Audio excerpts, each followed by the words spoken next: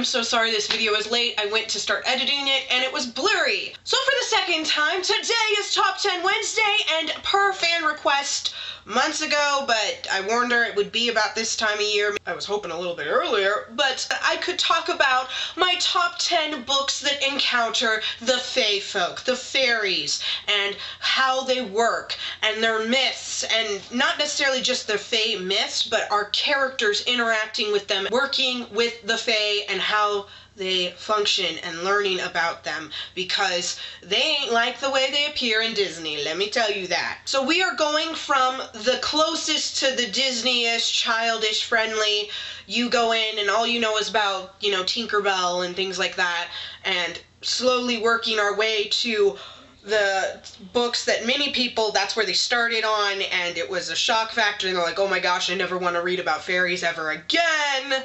And so that's where the spectrum goes. This is not my favorite to least favorite. I have quite a few favorites in this list anyway that all kind of tie at number one and are difficult to choose. So it's just easiest to get into to you probably should at least read three or four of the other series that I talked about before touching the top three. Now I do have an honorable mention. This kind of fits around the middle of that age group, and it is Chrono Crusade by Daisuke Moriyama. Chrono Crusade follows the story of Rosette, and she is bound to a demon named Chrono. Now the reason I work with demons, in Japanese myth, they don't have fairies. But the yokai, the demons, they are just like an identical to the way that the fairies work in European myth. And so that's why this one and several others are on this list. Chrono is a demon and his horns, his antennae basically, have been removed, which means that he can't function very well. And so in order for him to function, he bonds with Rosette. And Rosette needs Chrono's help to save her brother from some other demons that Chrono is also working against. It's a comedy, it's really funny, there's only eight volumes, so it's not that long, especially for a manga series, but I enjoy it immensely. That's why it's getting an honorable mention. At number 10, however, sitting in that position is Artemis Fowl by Ian Colfer. The Artemis Fowl series, just like Chrono Crusade, has eight books in it, and it follows the story of Artemis, who is a boy genius in Ireland, and he knows if you want to get a lot of money, according to Irish myth, then you have to go and kidnap a leprechaun. And so Artemis does that. And so he kidnaps the leprechaun, Holly, who is right there. And then he learns that the fairies aren't the way they are in myth. They are two to three hundred years more technologically advanced than humans.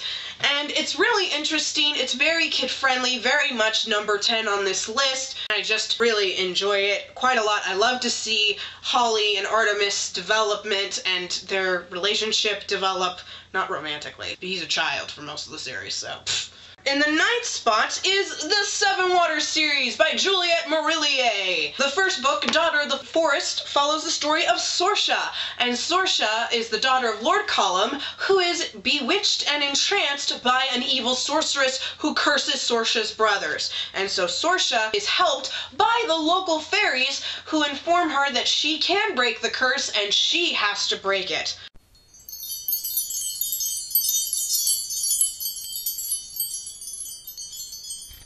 And then the fairies in this book are missing, and there's an evil fae lord, and it takes more the typical medieval style of fae, of them being very, very dangerous, and you do not want to cross them or have any encounter with them at all. But this is one of my favorite series ever. This is one of my most influential series to that I have ever read. Sorcha taught me a lot about bravery and courage, and it taught me to be proud of my Irish heritage a whole bunch of things. I just love this book. Number eight usually would make this list of when you think books with fairies. This is one of the first ones you go to, and that is The Spiderwick Chronicles by Tony DiTerlizzi and Holly Black. The Spiderwick Chronicles follows the story of Jared and his brother Simon and his sister Mallory Grace, and they have moved across the country because their parents just got a divorce. Simon is very angry about this, and then he discovers that weird things are happening in the house because Jared is a troublemaker troublemaker, he usually gets blamed. Well, there's something else going on, and when he finds his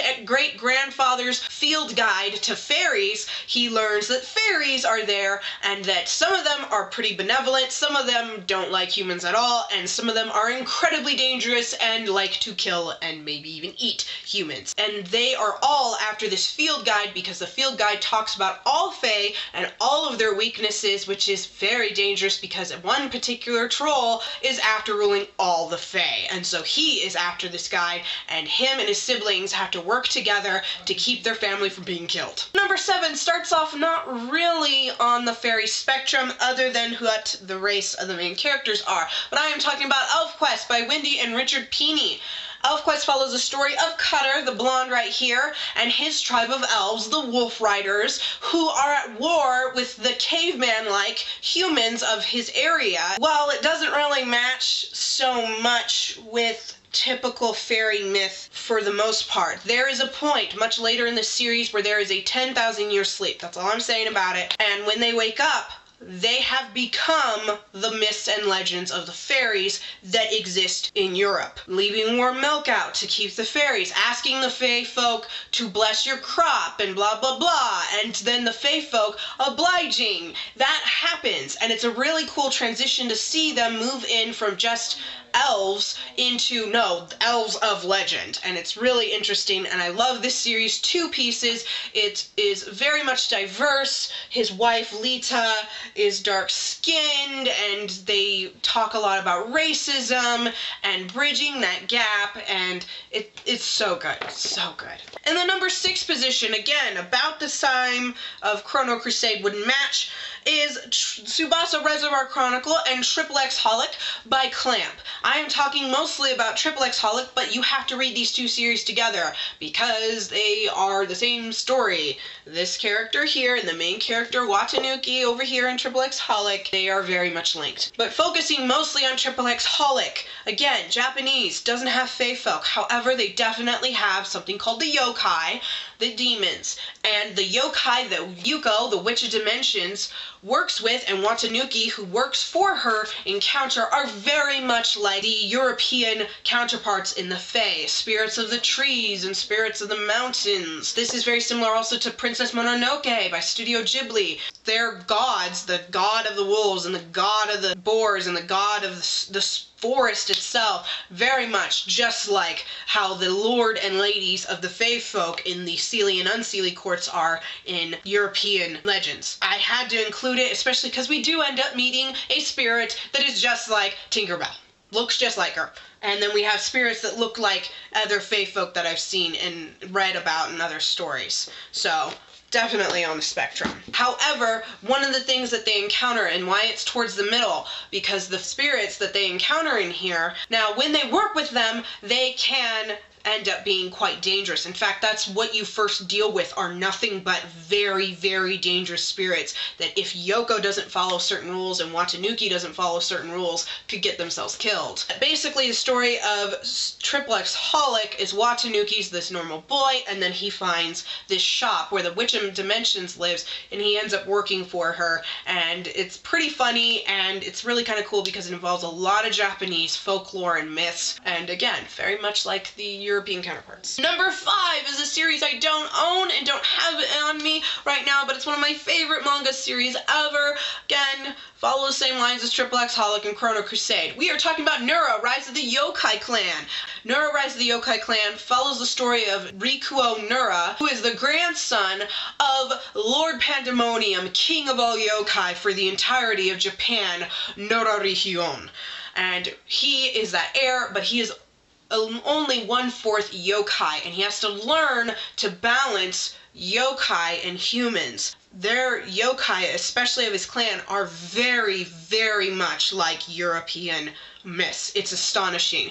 We have some that are like the beginning of the Seven Water series, who are very benevolent to humans and like them and work with them and assist them with certain problems. Some of them, like once there's a shop entirely run by yokai that cater to actual humans because they love working with humans. And so they are very careful about the food that they use so they don't put too much of their power into the food because then people don't eat normal food and that's not healthy. And then there's also yokai that love to kill and eat humankind and love to torture and hurt them, just like some the evil of the Fae can be. And so Nura has to work because he has both of those types in his clan, and he has to work on the balancing act because again he's part human and part yokai, and so he wants to have the two worlds coexist together and not try to destroy one another. And all of this in secrecy. Number four may surprise you, but I am talking about The Hobbit and The Lord of the Rings by J.R. Tolkien.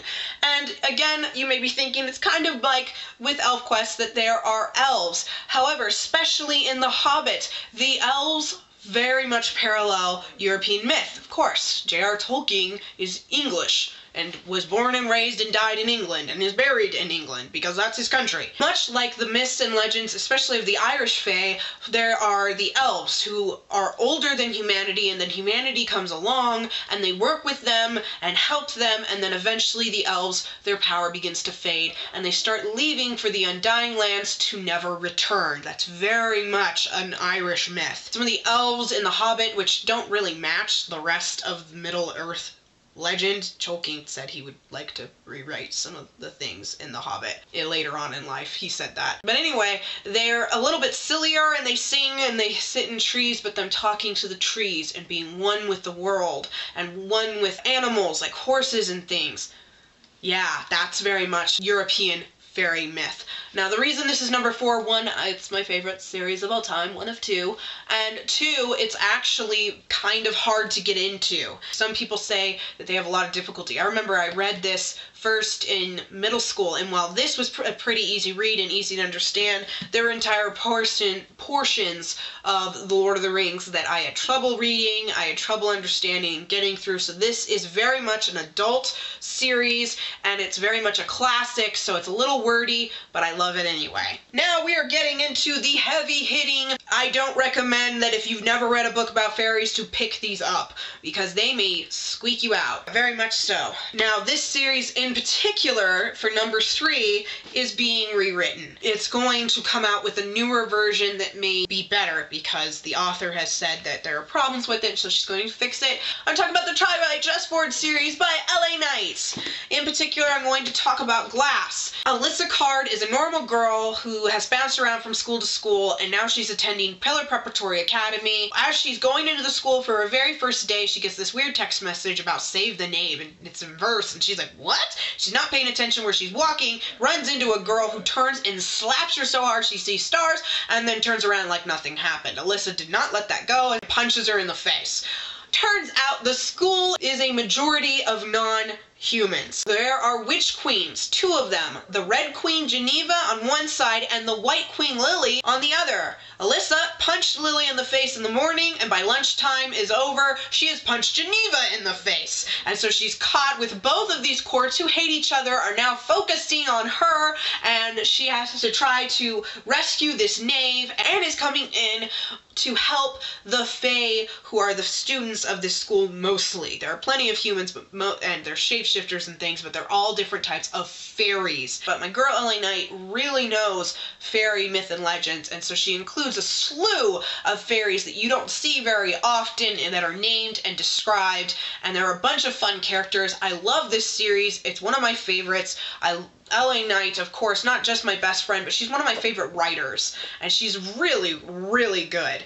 And I love her to pieces. And I helped edit these. And I will link down below where you can buy these. Now, the number two spot. I am talking about Wicked Lovely by Melissa Marr. Aislinn is a normal girl except for one thing. She can see fairies. She has what's called the sight. The sight can refer to two things. Either you can see into the future, or that also means you can see fairies whether they want you to or not, which is very dangerous. Which is very dangerous because the least thing that a fairy will do if they find out that you can see them is poke out your eye and blind you.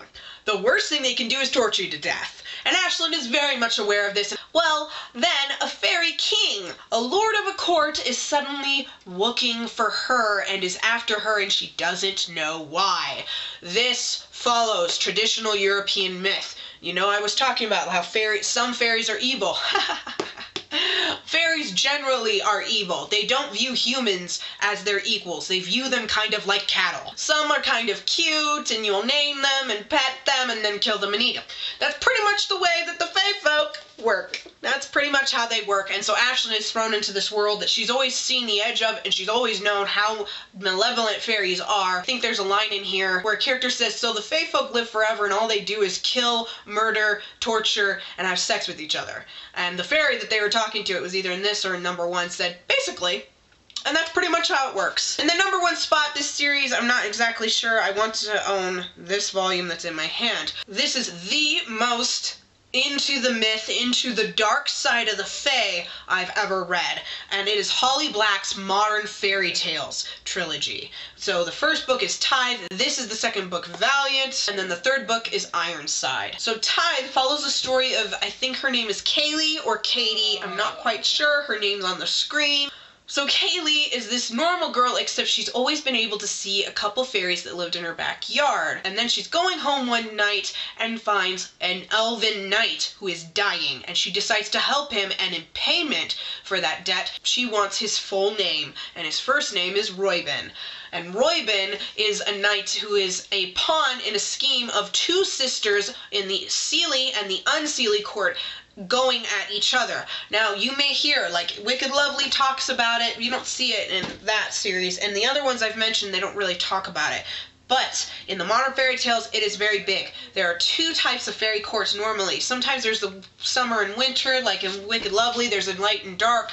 But then there's the Seelie and the Unseelie court. This is the difference between them. You may be thinking, oh, that's light and dark, right? That's you probably heard that. An Unseelie fae will trick a child into going into the middle of the forest with them and will play with them for a bit and then kill them and then laugh. Seelie Fae will trick a child into following them into the middle of the forest, play with them for a while, kill them, and then cry about it.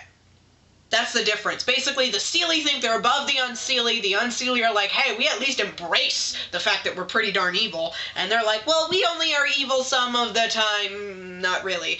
And that's, uh, anyway. So these two courts have been going at it. Roiben's been thrown into the middle, and now Kaylee, because of this tithe ceremony, is thrown into the mix.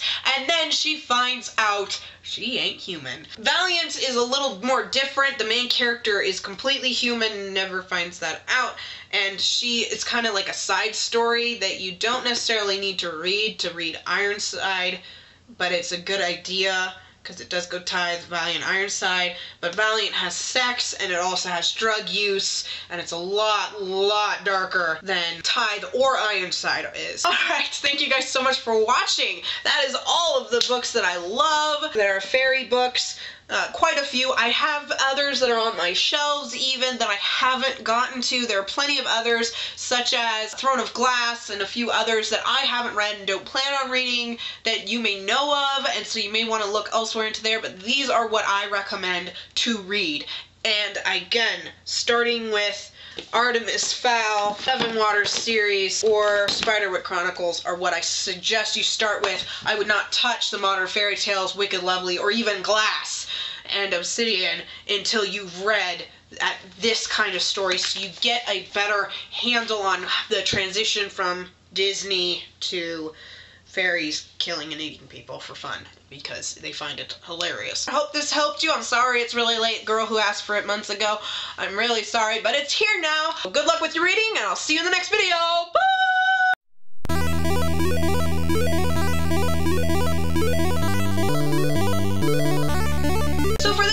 Second time, let's re...